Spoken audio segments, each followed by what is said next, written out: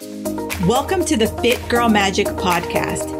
If you are ready to find your inner magic, develop great habits, and a rock steady mindset to feel confident, comfortable, and fit in your body, you are in the right place. I am Kim Barnes Jefferson, and I'll be giving you weekly doses of health, fitness, and life tips sprinkled with humor and real talk. If you're ready to be consistent without the stress of perfection, magic makers, it's time to slip into your favorite pair of PJs, grab some coffee, kick back, and listen to today's show.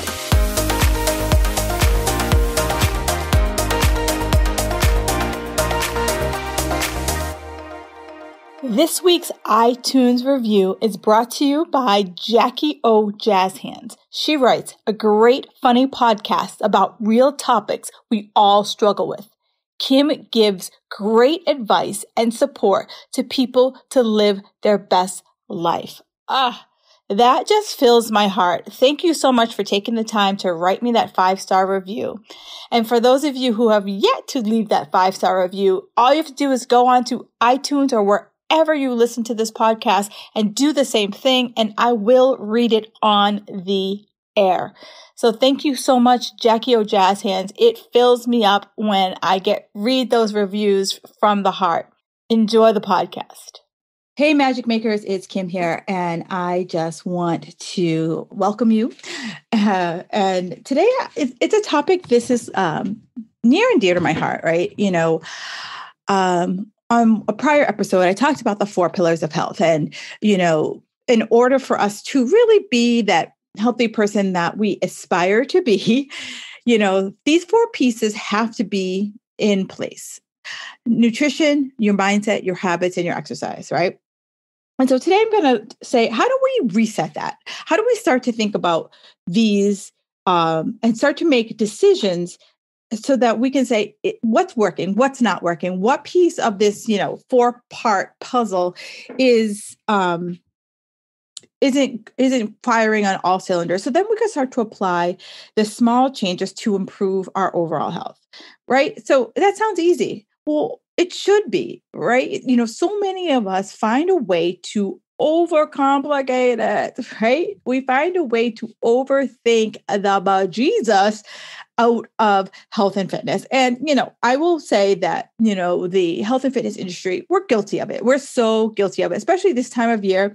You're going to see a lot of different advertisements out there that you need to stop eating this or start eating this or find this superfood or do this, do that. And you could, you know, bat around like a flippin' ping pong ball. I totally get it. And what I'm here to do is during this conversation, you know, I want to make getting healthy and fit as simple as easy as going to sleep at night, right? You guys close your eyes, you go to bed, boom. Now, I know some of you are like, girlfriend, sleep ain't that easy for me sometimes. I get it. I totally hear that. We're going to talk about that later in this uh in this show. So, you know, here it is and you know, I try so hard not to date these episodes, but here we are in December, right? And we're December of 2020. And it's been one, you know, insert your expletive of a year. And here is where I feel like many of us get reflective because we all start to think about like what happened last year. Whoa. what's going to happen in 2021 and what's going to happen and beyond. And so I think here's the perfect opportunity to start to look at like what I call my Fit Girl Magic framework and st- start to say like how can I apply this to all of the four pillars of health you know my, my, my mindset my nutrition my habits my exercise all right? So let's dive in. So all roads lead to nutrition right? We have to fuel our bodies you know and i've, I've said this quote and i'll probably say this quote to the day i die. Uh, jack LaLanne, the father of modern fitness he says it perfectly nutrition is queen and exercise is king well, so many of us want to flip the script and like work so hard and you know get all sweaty and be like, that's the that's the stuff. That's what's going to get me my results. Sadly, no, right? That's not that's not what's going to happen. We need to focus on fueling our bodies. And it's not about remove this food group, have that superfood. It's not about that. It's really starting to say, you know, how do I, what foods work best for me? And in order to do that, I know it's annoying. You have to journal, right? You have to write down what foods feel good, right? So that when you so that when you feel bloated, you're like, ah, what was it that I had that made me bloated, right? And then you can look at the jog and like, whenever I have whatever food it is, right? Versus someone told you to, you know, blindly remove dairy or blindly remove gluten or anything like that. I want you to see does it affect your body the way they tell you it is versus blindly following, right? Because ask the questions what has restrictive dieting done for you in the past, currently? What's it going to do for you in the future? You know, I um I have a friend and she's like, she's like, paleo for life. And the one thing that paleo does for me, it makes me um whenever I like restrict certain things, I binge like nobody's business. I become a hungry, hungry hippo. And I've learned that, right? So I want you to learn that about yourself so that I know that when I restrict myself, like ridiculously restrict myself, it's setting me up to become a binger on the other side. And if you're done with that lifestyle, keep listening because, right, when I work with clients, it's about how do we find that harmony, right? That balance point, that tipping point between what's going to set you off the rails and what's going to set you up for success. That's where that's where I look for. That's what I feel is the best way, the best life, right? You know, how many of you want to like fear going out to dinner or don't date or you know always feel like you have to eat before you go right? I, I live that life and that life sucks sucks big time. So let's focus on adding healthy nutrition nutrition oh my gosh nutritionally dense food. That was a tongue twister huh? So that we focus on like i said the balance not the perfection and i know so many of you are that are here and all it takes is like one you know bite of a chocolate chip cookie and you're like, release the hounds. I'll start on Monday. No, you had that chocolate chip cookie. Boom, it happened. Hopefully it was delicious. And now you're moving on. You know, it's it's been there, done that next, right? It's when we start to keep dwelling on our past mistakes that that's where what's going to trip you up. And if you're someone who continually falls into that trap, please stop we all mess up, right? I think about it like a, a, flat tire. You're driving along the road and you get a flat tire. Do you like set your car on fire because you got a flat tire? Or do you like, hey, AAA, I'm on the side of the road, help a sister out? You know, that's what, what we mostly do. We're like, hey, help us out. Like I, I, I fell, you know, or that, um, that old school commercial uh, old lady falls and she like you know pulls i think it's our life alert uh, if i if i'm wrong correct me and she's like, help, I've fallen, I can't get up. That's you, right? You had the chocolate chip cookie, you've fallen, you can't get up, but you can. You can just right yourself and move on. Next meal is what what what it is what it is, right? And you have to grocery shop, you know. And here's the beauty. In this day and age, grocery shopping isn't you driving to your local market and pushing your cart up and down the aisles, right? Nowadays, there are a myriad of ways to get groceries in your house. They can, you know, you could shop online and they actually deliver it to you at a specific schedule time. You could go there, you could shop and actually go there, pick it up, and they'll put it in your damn car, right?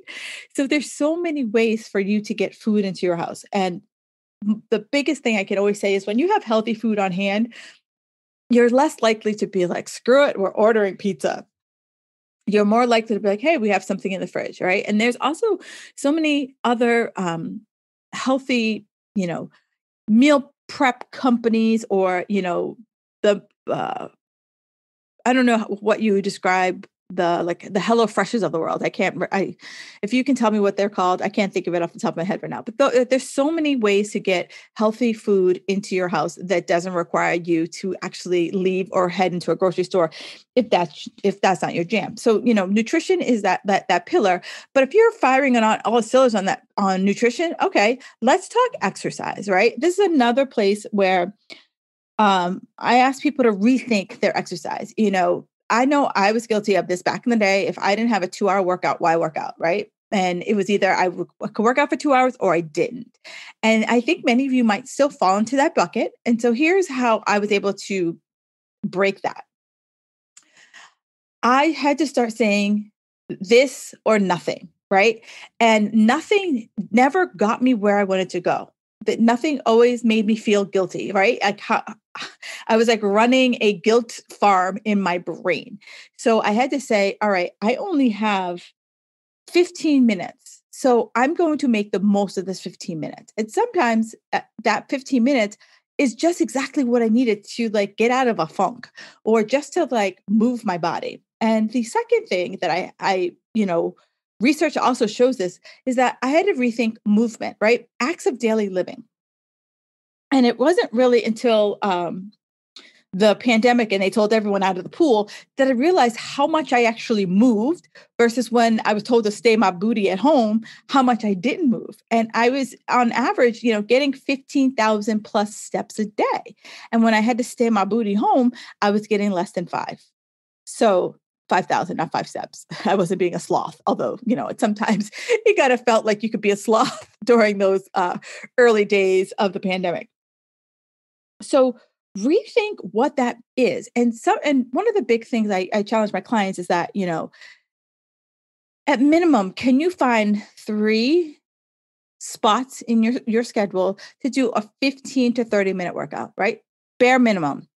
Then what about movement, right? Can we find time in your day for 7,500 to, to 10,000 steps? And what has been found is that it's called NEAT, right? Non exercise activity thermogenesis, right? That's fancy talk for walking or just acts of daily living. It could be gardening, right? My grandmother's 99 years old. She don't walk, she gardens, right? That's her act of daily living. Like, you know, try to keep that girl out of the garden. You might as well just, you know, shackle her to her bed, right? She gets up and she gardens. She does something in the garden every single day that makes her happy and that gets her moving, right? So I want you to think about movement. So movement doesn't have to be, you know, flipping tires and all that other stuff. You actually, the research has found you actually burn more calories then focus exercise by acts of daily living. So that could be anything. So getting in those steps nowadays, any many of us have, you know, a whole mirage of ways we can track our steps, you know, be it our phones, our Fitbits, Apple Watches, uh, Google makes a watch, I believe, anything. You know, there's plenty of ways for you to track your movement. And so I challenge you to get in those 7,500 to 10,000 steps. And that's a major piece of a challenge that, that I'm running. I call it Lean and Sexy After 40.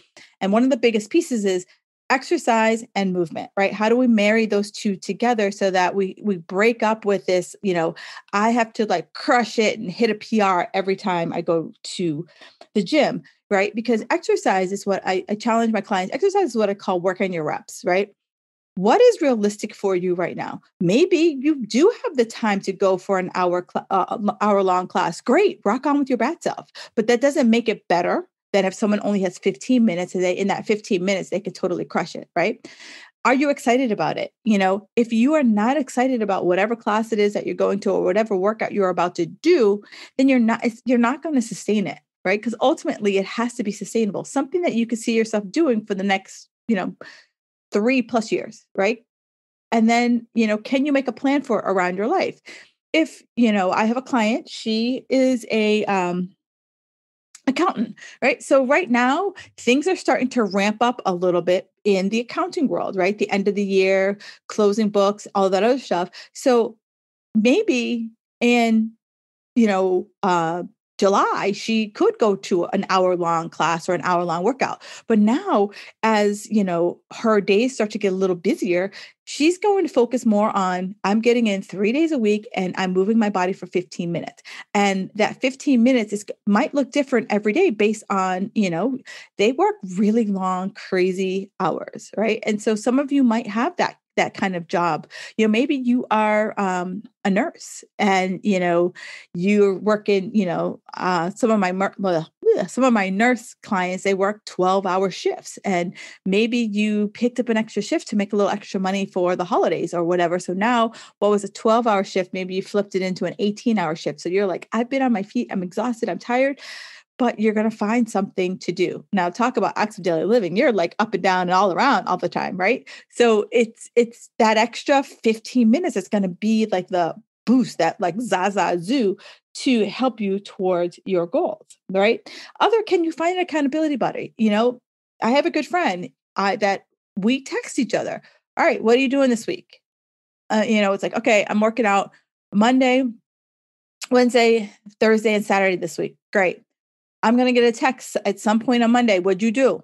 I'm going to get a text on Wednesday. What do you do? Right. And the same thing is going to happen to her. And that way we're holding each other accountable because, and you have to pick someone who's going to hold your feet to the fire. Cause I'm fortunate that my friend, if I said, well, I was tired, she's going to be like, so what are you going to do tomorrow then? You know, so it's going to be that. So you need to find someone who's going to be that for you. And so if you need that person, I can be that person for you. So just holla at your girl.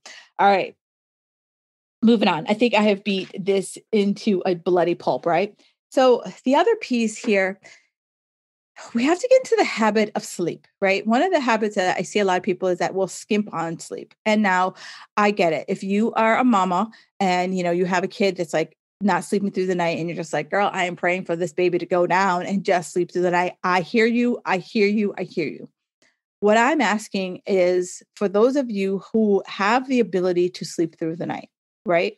And this also applies to the mamas. Like, I want you to say, like, are there certain habits that we could start to try to do so that it settles both baby as well as you down and so that we have kind of a process so that we can go through and see what are some of the toggles we need to pull in order to get our little nuggets t- down and then for us to be able to get back to sleep in a more timely manner when our little nuggets wake us up during the day right? So for me i always say you have to set yourself up for success. And so as i was talking about children ch- children have a process like there's ne- there's um you know bath time then there's a you know x number of stories and then you know certain stuffed animals are set up around the bed and all this other magical stuff right? So think about that for you as a person are you setting the tone for sleep, right? Or are you like, oh, I'm going to lay on the couch until I fall asleep, right? Or is there a hard deck? You know, like set a flippin' bedtime. I my, I set a bedtime. Like my goal is that I between nine and nine thirty, I'm wrapping up whatever the hell I'm doing. Right. So it's like if I'm like cleaning up uh, dinner dishes or you know i will also like be following up with clients at night you know whatever i'm doing by 9 30 i'm like Gook, shut off done. And then i'm starting to like go upstairs i'm washing my face i'm brushing my teeth then i'm meditating i'm reading and then lights out 10 30 right? So like i give myself an hour to like you know unwind versus like laying on the couch until I, I pass out and like I wake up and like the you know the TV's still going and the remote's falling on the floor and that's what woke me up. Right. Start to think about how do you position yourself for sleep. Um, make it a priority that you're like this is my bedtime right um, the other piece is you know, maybe you're like, I've tried all that, girl, and I, I just can't. So maybe you need a little some accoutrements, right, to set the mood. You know, it could be diffusing some lavender. You know, maybe you're needing to like i have i use what i call like a sleep spray so it has like a little melatonin all right i'm going to say this word and i always blow it um valerian oh i said it right the first time valerian root um so it just helps to like um, lull me into sleep. Some of the other things that I've used is CBD oil um, at night. So, you know, think about those things if you have tried the like, you know, set bedtime route and it's not working for you. Now, I'm about to say something that I know is not sexy, right? You know, and I know this is maybe uh, maybe like six years ago. If you said this to me, I would have, I would have easily tried hard not to roll my eyes at you. Um, but mindset, right? It's it's it's totally not sexy, but it's a stumbling block for many of us, um, because it's changed my journey, right? It the me shifting my mindset has changed my journey because I didn't realize until I started to actively work on this that I had a fixed mindset. Like I thought that things were the way they were. Right. And for me, you know, when I turned 40, my body gave me the finger and, you know, I pulled out my old tricks and I was spending two hours at the gym. I was like removing the carbs, I was removing all the things, and my body kept putting on the weight, putting on the weight, putting on the weight. Now, had I not shifted my mindset, I would still be on that goddamn hamster wheel. But instead, I had to start opening up. I had to start thinking differently, right? I had the courage to say, you know what? there's something else out there, right? There, there has to be something different. And one of the ways I started to open up my mind was journaling, right? Now, I know many of you are like, oh, journaling. Yes, that was me too. I was like, dude, I am not a dear diary girl. Like, dear diary, I was waiting by my locker and then he walked by. No, right? So for me, journaling was more about all the crazy that was in my head and I was writing on a piece of paper. And when I first started, it wasn't fluid, it wasn't easy. It it was a, ch- a challenge for me. Like so at the time, um, the coach I was working with, um, I actually interviewed her earlier on the podcast all about mindset. We sat down and she's like, Kim, set a timer for five minutes and just sit down. Even if you say, you know, um, Jennifer's making me do this. I can't stand Jennifer. Why am I doing this? Well, I did write that true story. So I did write that. And then eventually it just became something that I did. The other thing I found was it's called the there's two journals that I use that kind of that have prompts. It's called the 5 minute journal and in it it's like, you know, three things you're grateful for, you know, what went well today, that sort of thing. So to kind of help guide you. And the same thing with the I am journal does the same thing and I'll put the show ugh, I'll put the link in the show notes. Um so you can see them. But you know, I journal pretty much every morning I sit down. Sometimes it's five minutes. Sometimes it's, I got stuff coming on me, right? Uh, but I always ask myself, what do I need to know today? And sometimes I don't need to know anything. sometimes I need to know something, or sometimes I will hear something that'll make me kind of think on it.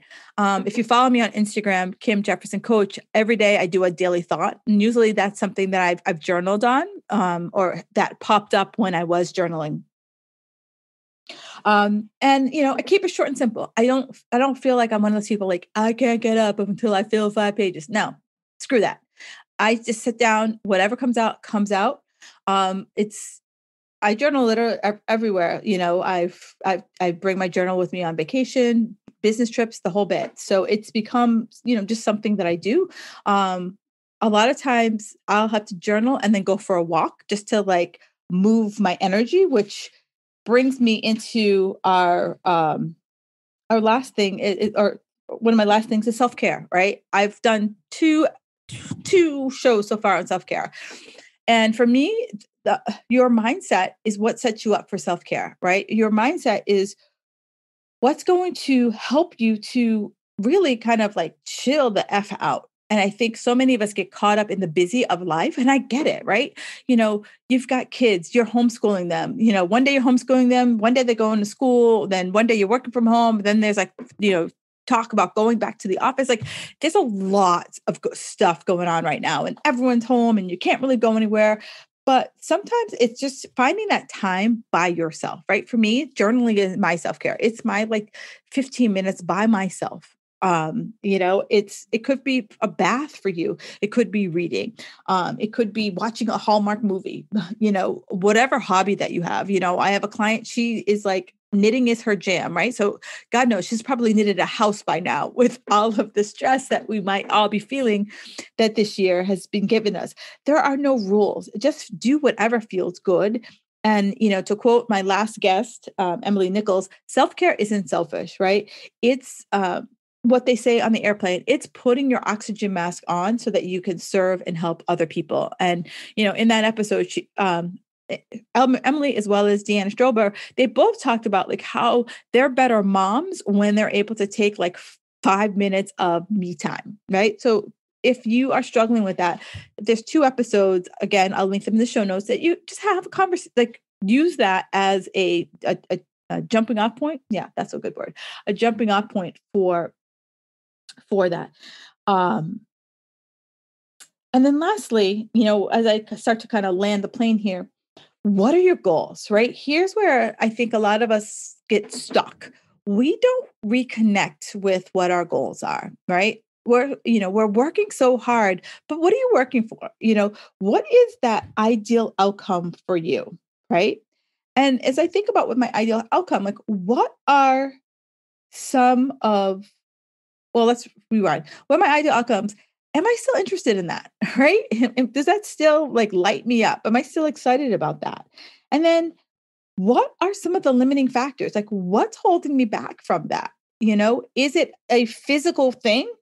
You know, is it yeah, is it a physical thing or is it something I've created in my mind?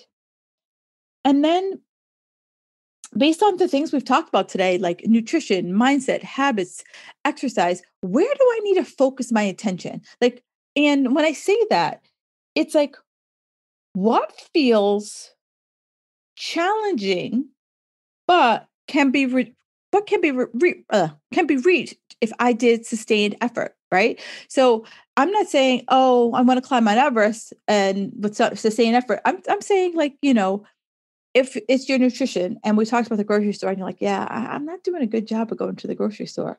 Could you focus on that? And could you start to say, you know, when I go to the grocery store, that's that that's going to be a good tipping point for me. That's going to be a jumping off point that'll turn into other things, right? So where do you need to focus? And how do you feel about, you know, the plan you've laid out for yourself, right? Because what I love to do with clients is create a repeatable process, right? So that, you know, we all are seeking that. But instead of doing it on someone else's terms, we're creating it on our terms, right? And when you create it on your terms, it's realistic, you're excited about it, it and it's sustainable. And at the end of the day, when you have sustainability, you have results. And that's what we're all seeking at the end of the day. And it's just we all are going to reach it at different roads. Like um think about GPS, right? We could punch in GPS and Google's going to tell me something. Um, Waze is going to tell me something else. My car navigation is going to tell me something else. And I can't think of another map company that's going to tell me something else. And there might be small variances between what they all tell me, the routes they all tell me, but I'm ultimately going to get there maybe within five minutes of each other, right? So that's where I want you to start thinking about that because, you know, your thoughts and feelings affect your behavior and ultimately your behavior affects your choices. And when you make um, when you start to make you know more informed choices then you can get clear on what the outcome is going to be. You can connect to that goal you can connect to that outcome so that you're not relying on discipline and willpower and motivation. And you're you have the courage to you know stick with it for the long haul because here's the thing right? None of us are you know are come out advanced, right? We all have to be a beginner at something at some point. And then it's like when we get to that messy middle, that's when things get like, oh, can I? Oh, it's getting hard. It's getting uncomfortable. I don't know. Can I continue? That's where you have to push through to the other side so that you can get that consistency and ultimately you get those ultimately you get that result so I'm gonna I'm gonna end this with one story, and then um, I'll let you I'll get out of your ears. So um, I think it was maybe about a couple weeks ago. Tyler Perry, you know him, actor, producer, just all around you know Hollywood guy. He um, was building a new well, and the contractor was out there for like days digging and he's like yeah he's like the the surveyor says it's you know it's it's here it's it's when it's in this you know 20 feet. And he's digging, he's digging, he's digging. And Tyler's just like, all right, when's this going to be over? Come on. When's this like, you've been in my damn house for X number of weeks, blah, blah, blah. So the contractor came in and he said, look, I know I've been, um, I've been here a long time. I, I don't know, you know, the surveyor told me this is where it is. I, I haven't found it yet. I, you know, I apologize. It's not where, know where it to be. I might need to just start all over again and resurvey to find you a well. So Tyler's like, well, you know, you're already here. You're already set up. Why don't you just like, you know, dig a little bit and see what happens? Well, he dug and like literally he was 50 feet from water. So the moral of the story is many of us, we start a goal, it gets hard, it gets to that messy part that you just start to feel uncomfortable have the courage to push through because the breakthrough is typically within inches of your breakdown. All right. So I'd love to hear how any of you guys feel about this. Um, do me a favor and uh, hit me up on the socials. If there's someone who needs to hear this, screenshot it, tag them, tag me, and let's make sure that we stay in touch because here's the thing, you know, your goals aren't ever going to go away. So we might as well face them head on and work together to see how we can make them work for each other. All right. Have a fabulous day. I'll talk to you soon. Thank you for listening to the Fit Girl Magic podcast. If you've made it this far, yay. I'm thinking you enjoyed the show. Let's continue the conversation on Instagram. You can find me at Kim Jefferson Coach. In order for me to keep sharing this message, do me a favor and leave me a five star review on iTunes. While you're there, don't forget to subscribe so that you won't miss an episode. New episodes are available every Wednesday. The Fit Girl Magic podcast is intended to provide you with tips, tools, and strategies that will help you make better decisions about your health. I really appreciate your feedback and your support. Thank you so much.